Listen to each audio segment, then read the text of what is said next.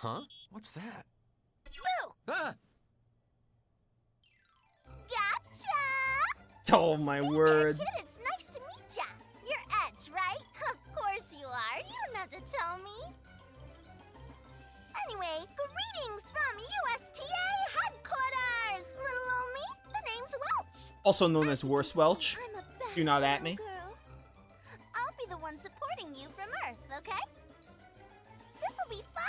Looking forward to working with ya. Cheers. Uh. What is it, Edge? What's with that look on your face? Oh, you don't mind if I use your first name? Nah, of course you don't. No, I, uh. Boy, is this one indecisive or what? Yeesh. Hey, you need a good poke in the eyes, is that it? Come here. Poke, poke. Hey! Hold up a sec! Oh, man. I heard each ship would be getting support from Earth. But I never imagined anything like this. Didn't think your support would be so cute, did you? Anyway, from here on out, I got your back, man. Straight to the fiery depths of hell. Uh, that's really not the kind of thing I want to be hearing before takeoff. Relax, you'll be fine. Let's see now. Your first destination is planet Aeos, right? Fortunately, the unmanned exploration craft didn't report anything dangerous out there, like giant outer space bugs or whatever. So yeah, no worries. Go for broke, Edge. Is this the kind of support we're to expect, ma'am? Ma'am, what am I, your mother? We're gonna be together for a while, kid, so let's dispense with the formalities. ah, looks like you got another call. Oh well, enough lovers patter for now. Talk to you later. Yo, Edge.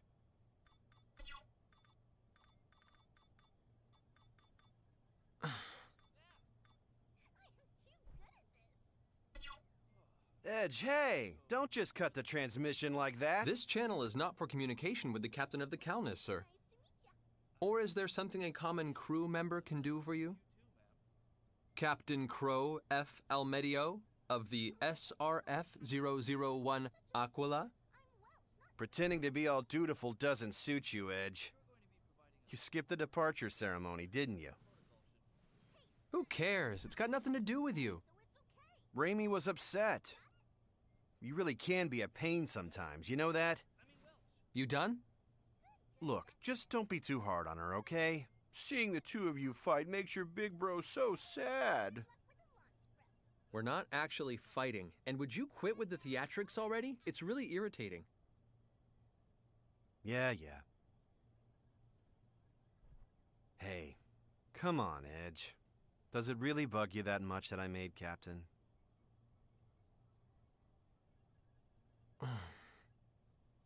Actually, no, it doesn't. In fact, I think it's only natural you were promoted. It's just. You're getting so far ahead of me. You really haven't changed at all. Still the same kid you were back in school and at the academy. I'm not as far ahead as you might think. There's no need for you to rush yourself. Goodbye. Wait a second. Edge, you realize just how important our duties are with the SRF, don't you? Everyone shares the same responsibility, captain or not. Look, we're all in the same boat here. I'm just as nervous as you are. Captain Almedio nervous? what, we expecting meteor showers tomorrow? This isn't a joke. Look, Edge, how should I put this? Let's both give it our all, huh? Yeah, let's. Great. Well, that's all I got for now. Looks like it's almost time. Bon voyage! I love meteor showers. Bon voyage. We're going to the same place. Oh well. I suppose I can't stay mad forever. All right then. Let's get the show on the road. Edge's eyes are so green. He's probably been infused with Mako. All hands in position. SRF-003 Calnus. Initiate launch procedures. Roger.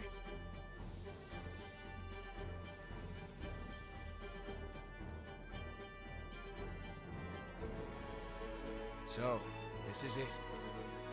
Indeed it is. We've charged these children with the future of our species. Let us salute the departure of our seeds of hope. You can't be spewing the word 001, hope like that. Launch preparations complete. 002, Belena to follow. Guess they're gonna have to roll the credits now, chat. You've all been trained well. Keep a steady hand and perform as you always have.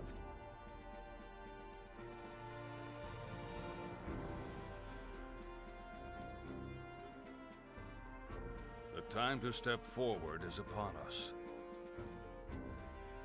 Brave pioneers charged with the destiny of mankind about to depart for space unknown. I pray for the success of your journey.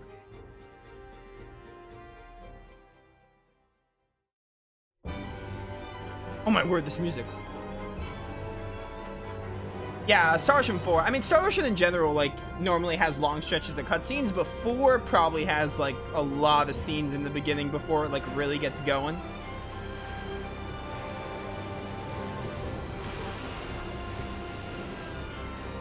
Hopefully when we get to combat, the audio's fine. 001, Aquila, launch confirmed. 002, Belena, preparing to launch. 002, Belena, launch confirmed. SRF 003 Calnus. Engage! Yes, sir. Initiating launch. You'll fire him engage?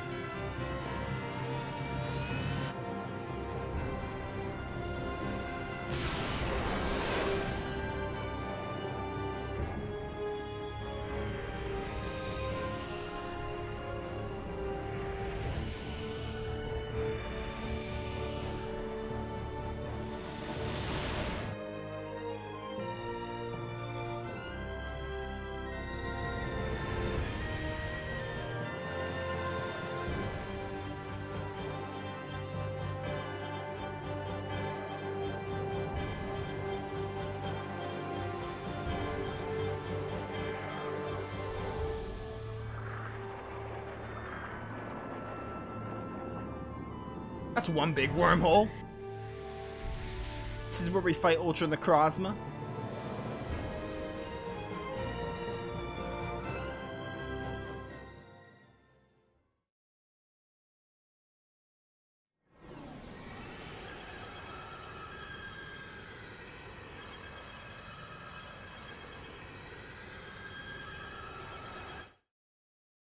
One hundred twenty seconds to warp out. Gravity balance, ship functions, all normal. Prepare for warp out. Finally, Aeos. And I'm gonna be the first to take that one small step onto the surface. You really are just a big kid, Edge. Hey, it's a big deal for a guy, alright? An honor. Edge, be careful to keep the ship stable when we warp out. Yeah, just ignore me, why don't you?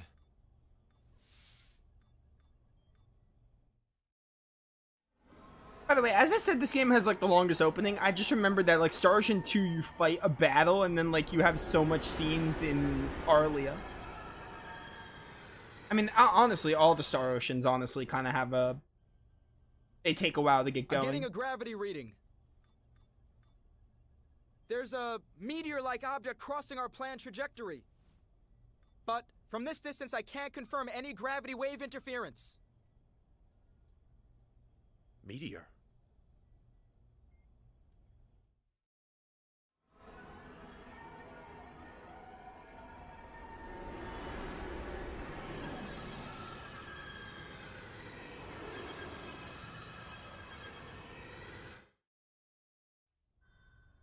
The unidentified object has passed us. I'm detecting some minor fluctuations in the gravitational field.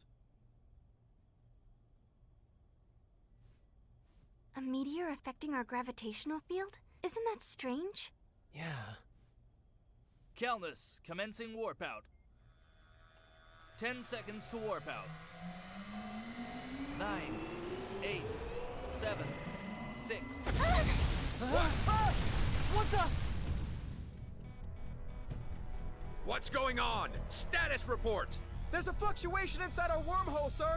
An abnormal gravity wave is spreading fast. It's producing an error in our subspace flight tracer. Too late! We can't avoid it! What? Captain, interference from the gravity wave is spreading throughout the wormhole. Our planned warp out point has disappeared. We're gonna lose our navigational coordinates. Damn! What about the other four ships? No idea, sir. I'm not detecting them in subspace. Input a new coordinate axis. We've got to initiate an emergency warp out. Reimi, I'll handle 3, 5, and 9. You take the rest. Coordinate access input complete. Warp out preparations complete. Edge! Everything's ready. Captain, Emergency warp out. All hands, brace for impact.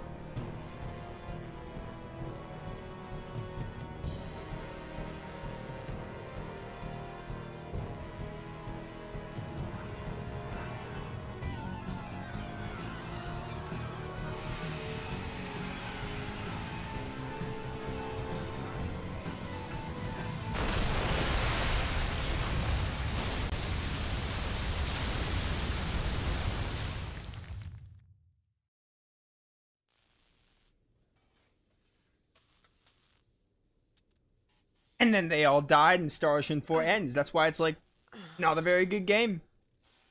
Thanks for coming, everyone. Damn. Ah. Did we uh, crash land?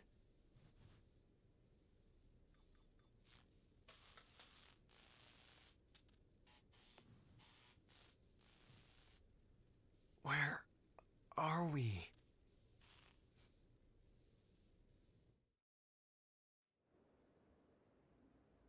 Oh, Planet Aeos. Dude, I cannot wait to go to all the planets again. It's the one thing I'm looking forward to. That and the combat. I'm just looking forward to, like, actually playing the game. Uh, honestly, most of what I talk about with games is, like, I love story and characters. But this game, I'm actually really excited to do the combat more so, because I know the characters aren't great. And the story's, like, for what it is, it's neat, I guess? It's got some neat ideas, but again, as you know, in my opinion, a good story isn't really a good story without good characters, so... If only I'd been more careful. He's knocked out, but I don't think he's hurt, thank goodness. Urgh. Oh, poor Van. Reimi? Reimi? Reimi! Reimi, wake up! Edge.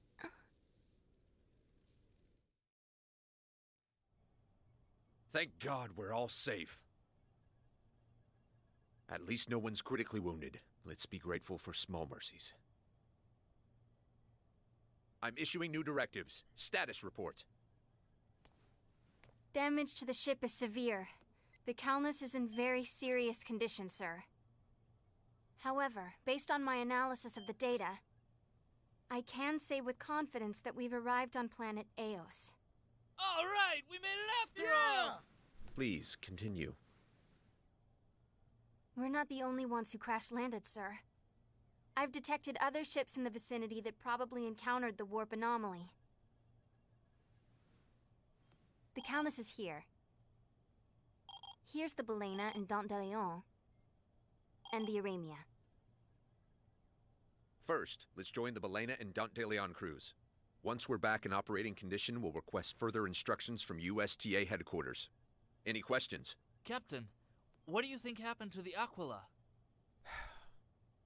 It appears the Aquila attempted an emergency warp out as well, but I'm afraid that's the only information we currently have. Well, there's your answer on the Aquila.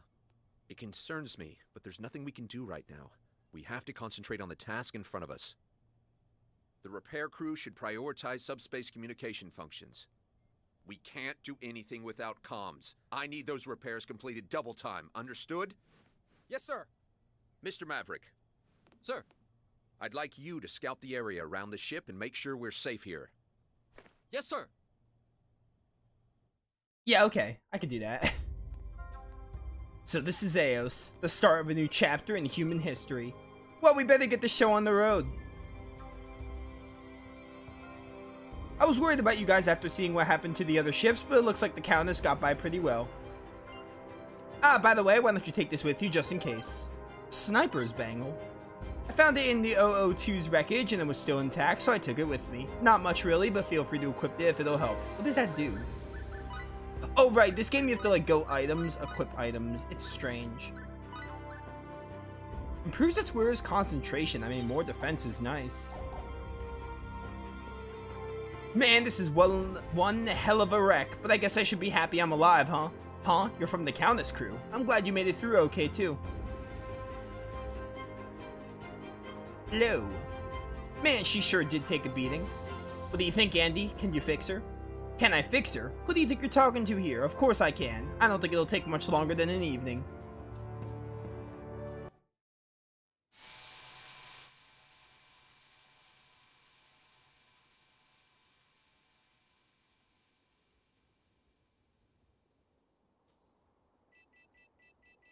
The Calnus actually held up pretty good, huh?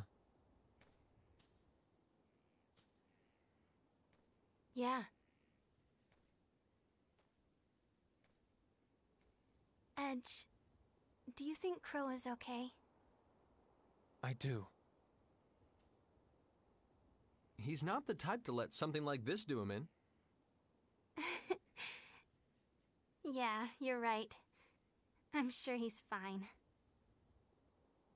Anyway, how are things looking out here? It's just like the exploration craft reported. The environment on this continent seems perfectly suitable for human habitation. There's lots of primitive gymnospermae like these ferns and cycads. The climate is subtropical and, well, to put it in Earth terms, it's a lot like the Jurassic period. The Jurassic? Think we'll run into any dinosaurs? Come on, the exploration report didn't say anything about any large scale life forms.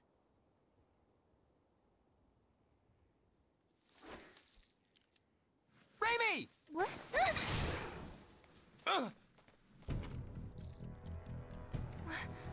What is that thing? Some kind of bug? It's a spider! What is it? Eliminate the spiders! Attack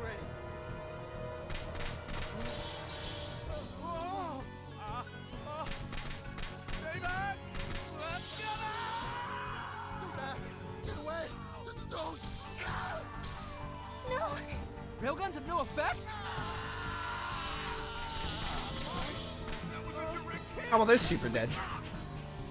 Oh, how convenient that a sword just comes out. Damn it!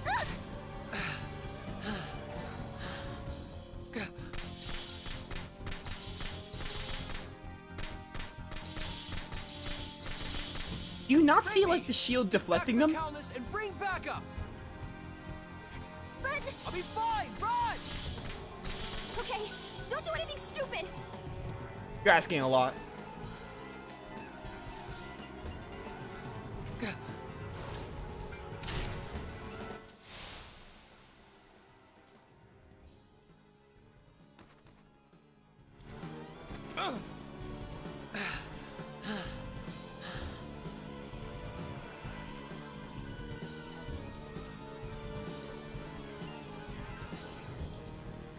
I'm taking at least one of those legs home with me!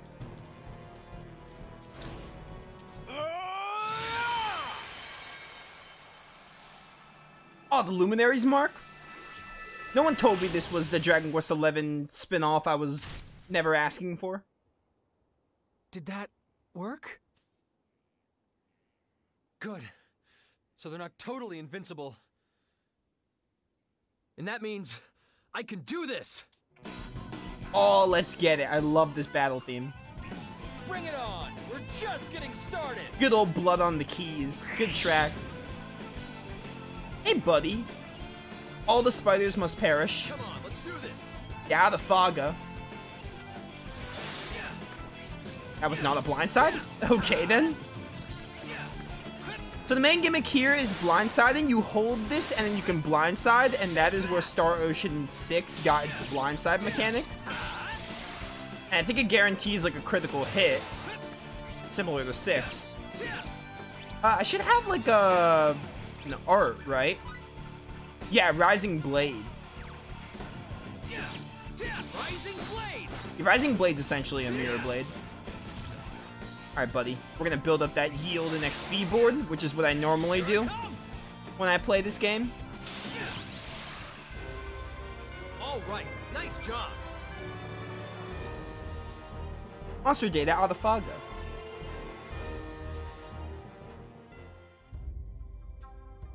Oh, I thought there'd be like a cutscene or something.